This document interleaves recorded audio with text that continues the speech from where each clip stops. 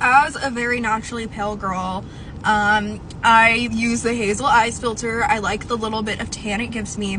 And my summer tan is completely gone because it is winter and I just realized I cannot use the Hazel Eyes filter in direct sunlight anymore because watch this.